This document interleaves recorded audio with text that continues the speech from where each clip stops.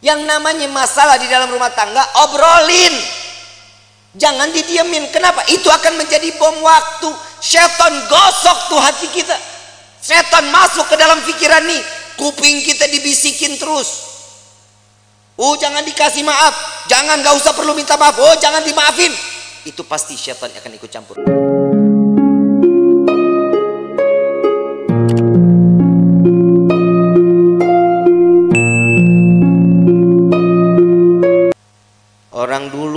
Beda sama orang sekarang. Kalau orang dulu mah ya Allah dapat rezeki berapa aja mah boleh alhamdulillah. Istri sekarang banyak nuntut. Gaji kemarin sekian kenapa sekarang sekian? Betul nggak? Kenapa begitu?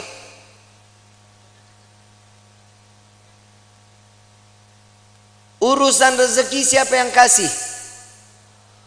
Kenapa mintanya sama suami? Mintanya sama Allah, tapi doanya di samping suami. Ya Allah berikan rezeki kami yang banyak lewat suami saya. Samping telinga ngomong kalau lagi tidur juga. Ya Allah, lipstick beak.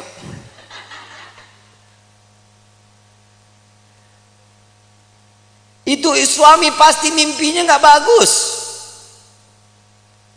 rumah tangga itu dijalanin bukan dipikirin. Betul nggak? Jalanin rumah tangga. Ya ada kerikil-kerikil rumah tangga ya wajar. Kita jalan aja kadang suka ada yang bolong jalanan. Betul? Saat di mana kerikil itu ada itu pembelajaran bagaimana caranya kerikil itu hilang. Ambil sapu singkirin. Jangan ditimbun bakal jadi gede Orang lewat susah. Yang namanya rumah tangga itu jalanin. Jalanin semata karena apa? Karena Allah. Cari ridho, selamat, imannya juga dipakai. Yang namanya manusia itu ditegur lewat perkataan Allah. Takwanya yang diingetin. Kenapa? Karena pernikahan itu wajib dijalani dengan ketakwaan, dengan ibadah kepada Allah Suami istri kalau jalan ibadah sama-sama di hadapan Allah dengan mencari keridhaan Allah, selamat rumah tangga kita ibu bapak. Selamat. Ibu bikin kopi, ridho. Ya Allah, saya ingin bikinin kopi buat suami saya. Jangan dicampur sianida. Pai. Bikin karena ridho, kehidupannya apa pun senyum. Tadi saya bilang, Jangan takut saat nanti setelah pernikahan rezeki kalau Allah lagi kurangin terima aja. Ujiannya tuh di dalam hidup kita. Itu ujian pertama. Kadang ada pernah dengar nggak orang baru nikah dua bulan tiga bulan cerai? Ada nggak? Ada. Kenapa? Karena tidak menerima hasil apa yang telah diberikan oleh Allah. Allah udah jamin di dalam Al-Quran fa inna ma'al usri usran inna setiap kesulitan pasti ada kemudahan. Ada jalan keluar. Gak mungkin setiap jalan keluar itu buntu. Gak mungkin. Allah menetapkan satu ujian kepada setiap hamba pasti hamba itu punya kekuatan. Allah gak jahat kayak kita Kadang kita nyuruh orang seenak-enaknya, itu orang nggak mampu juga kita harus wajibin. Tapi kalau Allah memerintahkan kita karena tahu Allah ini ini manusia ini mampu. Ini orang tahu cara jalan keluarnya. Allah kasih jalan keluarnya.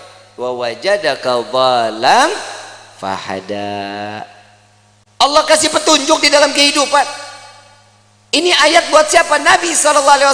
Saat Nabi berjumpa dengan dua arah harus ke mana? Ke kanan kah lurus kah ke kiri kah ke mana? Tapi Allah kasih petunjuk. Jalan. Makanya di dalam rumah tangga petunjuk itu wajib kita cari. Bagaimana caranya? Tahajud jangan ditinggalin. Sholat duha jangan ditinggalin. Sholat taubat hajat minta sama Allah. Kenapa saat seorang istri sujud, saat seorang suami sujud, ini akan mendapatkan pandangan kasih sayang oleh Allah. Insya keluarganya pasti sakinah. Aman. Tenang. Yang kedua mawaddah. Mau apa pun kendala di dalam rumah tangga tetap ngegemesin tahu ngegemesin bercanda tuh di dalam rumah tangga harus suami istri jangan tegang-tegang. Cuman nanya gaji berapa sekarang? Lu berapa? Gue sekian. Eh banyakkan gua. Jangan saling. Bercanda bagaimana? Sekiranya yang dilihat istri suka suami suka.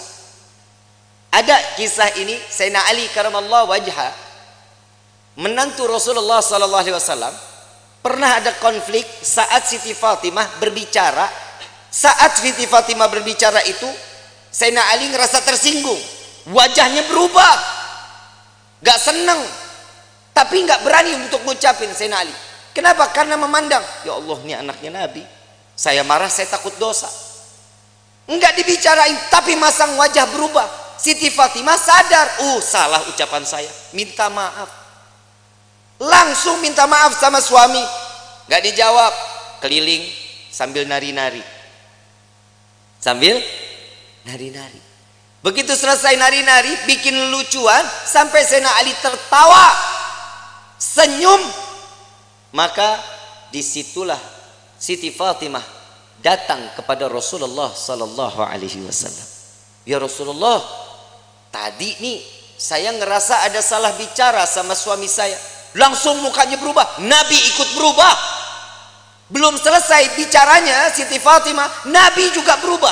Kenapa? Hei, engkau tidak akan mendapatkan keridhaan Allah, engkau akan dilaknat oleh Allah.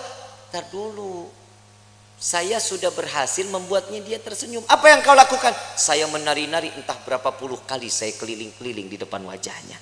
Sampai keluar senyuman. Apa kata Nabi? Maka saat dia tersenyum, Allah buka pintu surga untukmu, maka Allah kembali ridha kepadamu.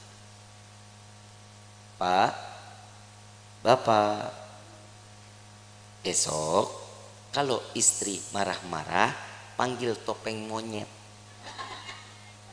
Suruh main suruh dia joget di depan kita.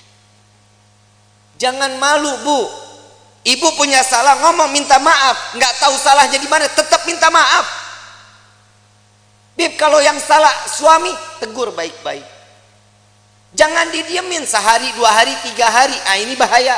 Ini kadang di rumah tangga suka begitu tuh. Kadang kalau lagi ribut rumah tangga main diem-dieman.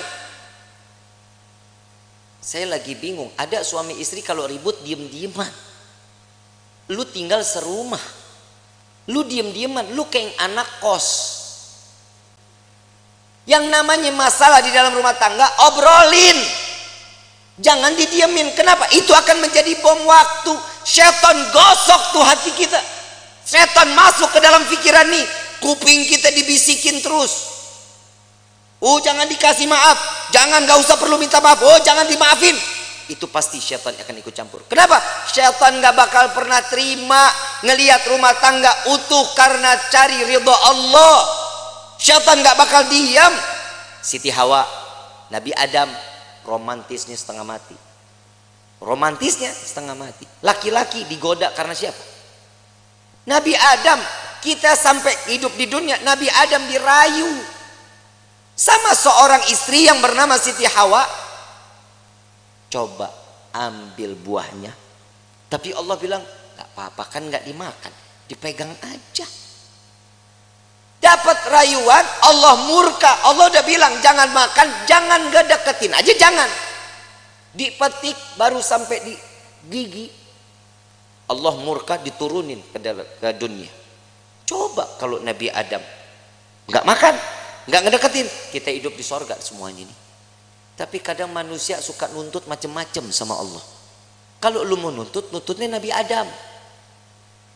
Gara-gara Nabi Adam makan buah khuldi kita jadi ada di di walahar aturan kan kita di sorga semuanya ada gak capek-capek kerja capek-capek nulis CV ngajuin kadang diterima kadang kagak S1 cleaning service Kadang begitu. Kalau kita hidup di sorga kan nikmat. Tapi inilah bagaimana kita bisa kembali ke dalam surga.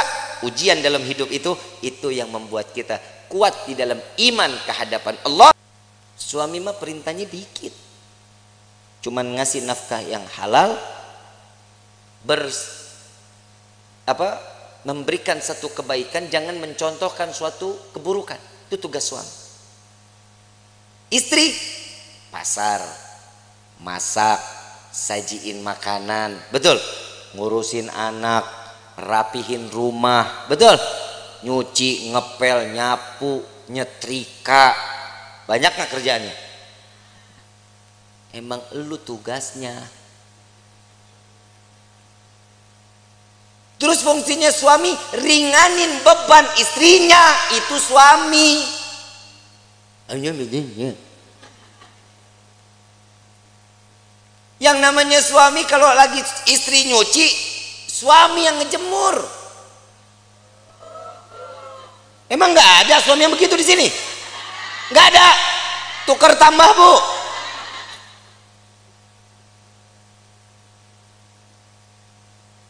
Suami angkatin jemuran, istri yang nyetrika. Gak ada. Suami yang ke pasar, istri yang masak. Gak ada. Ya derita lu dah. Ngeringanin beban istri itu salah satu pahala untuk suami. Minimal, minimal. Saat suami istri lelah, pundak kita berharga pak buat istri. Saat istri mengadu, yang aku capek hari ini, sini saya. Sini. Gak ada yang begitu, gak ada. Berarti di dunia laki gue doang yang begitu tuh. Lah ngapa lu? Lah bini-bini gua. Ini fungsinya mawadah, saling manja. Gemesin. Tuh, tingkah laku yang begitu aja ibu pada teriak. Kenapa? Gemes banget begitu. Yang ketiga warahmah. Hibur kehidupannya dengan kasih sa kasih sayang. Pegangan tangan rahmat. Allah turunin kasih sayangnya. Rontok dosa kecilnya. Pandangan-pandangan mata cintanya makin tumbuh. Tapi Pak, jujur kita jadi suami banyak ngedoain istri, istri belum tentu doain kita Pak. Lah emang benar Pak boleh dipercaya mau enggak bapak ntar tidur pandangan-pandangan mata. Yang namanya suami ngelihat istri pasti di dalam hatinya ya Allah istri saya capek dari pagi sampai gini hari. Belum ngurusin saya belum apa-apa. Ya Allah kesian. Jadiin semuanya capeknya lelahnya jadi nilai ibadah di hadapanmu ya Allah. Itu suami doanya kalau istri ngelihat kita pak lagi tidur pandang-pandangan, ya laki gue begini banget. Mana mata belok, hidung pesek, hitam, hidup lagi. Tuh istri begitu. Tapi ingat pak, semua apa yang dilakukan oleh seorang istri contoh dari suaminya. Bapak mau lihat istri wangi, bapak juga tampil wangi dong. Ya, jangan tiap hari pakainya seribu bunga, seribu bunga, seribu bunga. Istri juga enak. Pakai yang kerenan gitu. Hahaha. Betul kan bu? Tapi memang istri itu dituntut wajib wangi di depan suami. Lu mah kagak mana apek. Bore mason cap kampak. GPU kan? Bu. Bu. Ah jangan lu dah mayang aja. Mayang ini kan malam pertama nih cie Yusuf? Iya. Yeah. ini dalam hatinya Habib udahan ke Habib udahan ke Mayang tampilnya sebagaimana pengantin baru terus sampai mati menjadi pengantin baru. Ya, minimal kalau tidur nggak males pakai bedak, pakai lipstick. Ya, sup ngomong, yang aku paling suka deh ngelihat kamu kayak gini. Puji, seorang istri itu paling seneng sup kalau dipuji yang hidung kamu tuh kayak baskom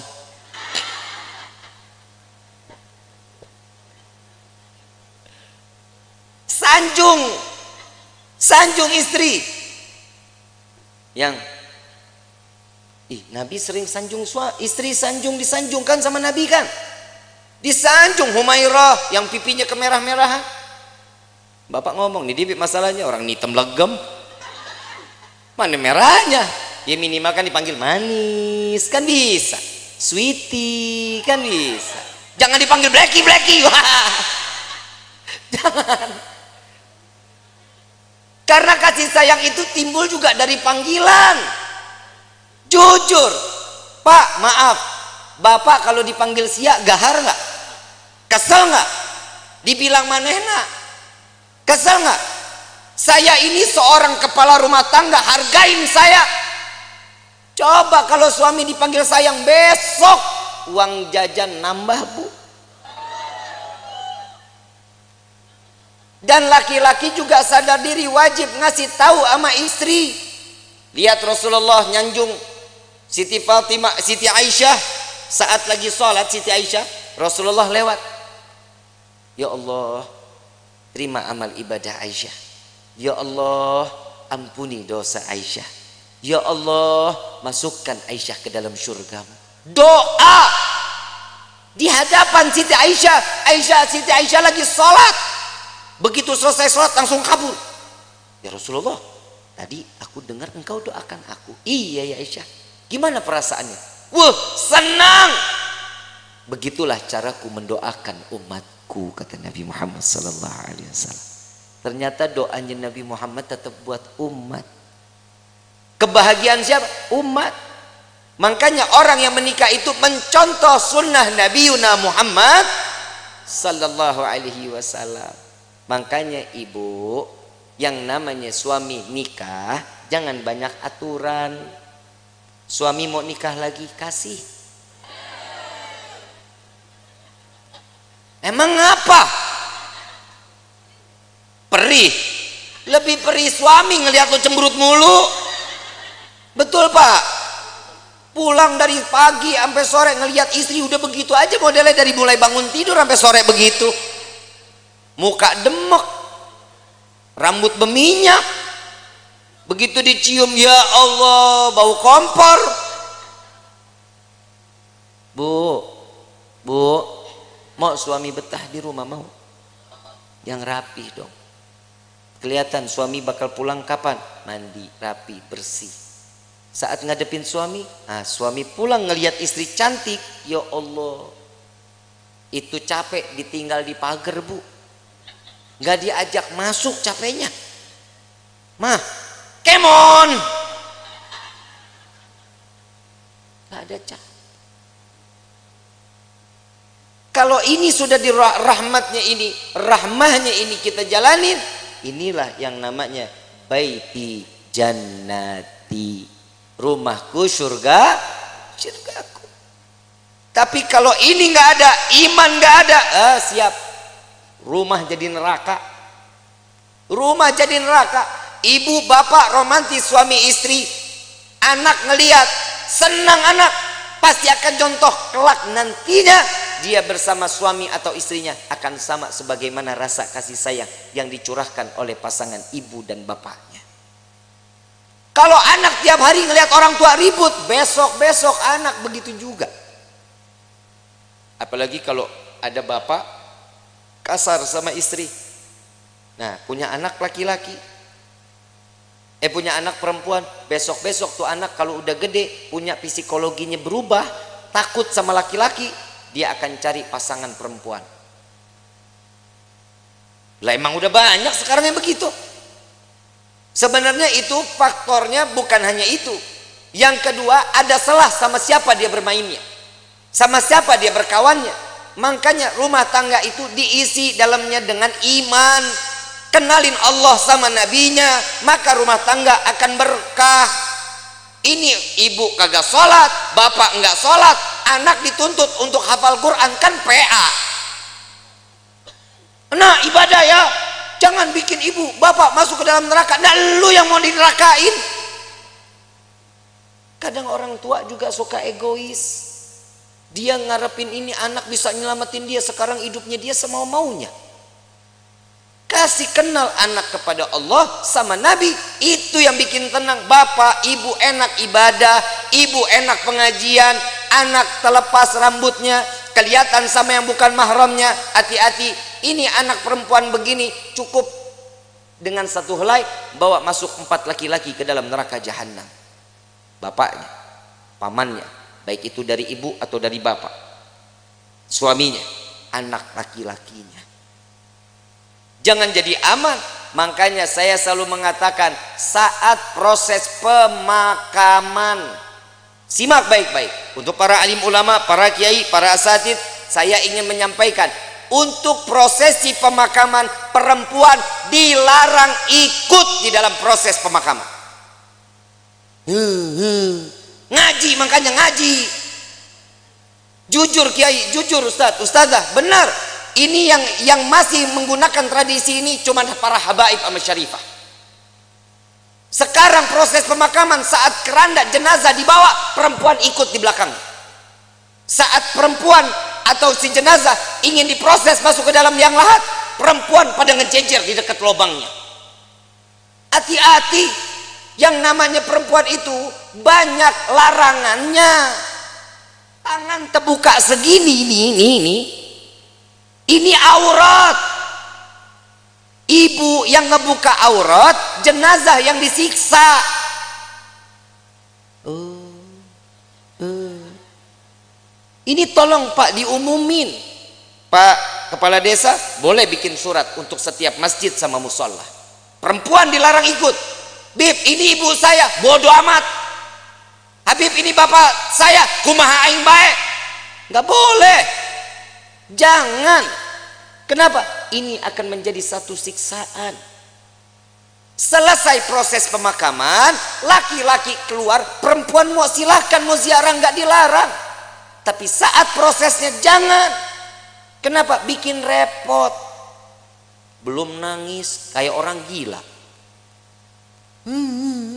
Bapak, bapak, ibu, ibu. Kalau suami yang meninggal nggak begitu nangisnya.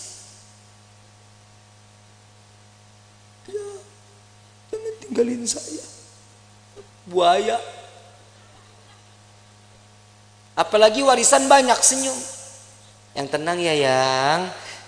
Mudah-mudahan diterima amal ibadahnya ya yang. Tuh kalau duitnya banyak ada laki-laki lihat ini siapa nih yang nangis-nangis ngegerung-gerung? Oh ini istrinya. Uh jandanya boleh juga nih. Aha. ajang jodoh di depan pemakaman. Hati-hati ya. Kiai Ustadz tolong ini diumumkan di setiap majlis-majlis taklim ya Bu ya. Ya Bu. Ibu saya enggak sama jenazah mau dia saudara mau dia adik mau dia siapa biarin yang urus biar orang yang mahramnya laki-laki emang ibu ikut gali kubur ibu ikut nguruk ibu ikut ngapain nontonin aja Habib Emang perempuan tuh banyak keponya. Entar tuh dia di atas makam nanya, "Eh, itu diapain?" Tuh jenazah bisa jawab, "Kamu nanya."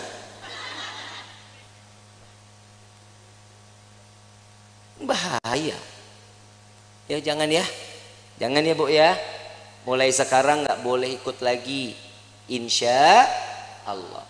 Nanti kalau suatu saat mudah-mudahan kita semua dikasih umur panjang, sehat afiah untuk ibadah kepada Allah amin ya rabbal Allahumma entah keluarga kita yang meninggal biarin aja biarin sampai selesai mau ikut ke pemakaman boleh tapi nunggu selesai proses laki-laki keluar perempuan baru masuk ya ikut situ mau tebar bunga silahkan ya mau naruh air mawar silahkan nggak apa-apa tapi saat proses perempuan jangan ada yang ikut. Kenapa? Ini yang akan menjadi penyebab siksaan untuk ahli kubur. Naudzubillahi min Jadi kenapa? Karena perempuan itu banyak larangannya. Paham ya? Insya kurang lebih mohon dibukakan pintu maaf yang seluas-luasnya. Wabillahi taufiq wal hidayah. Wassalamualaikum warahmatullahi wabarakatuh.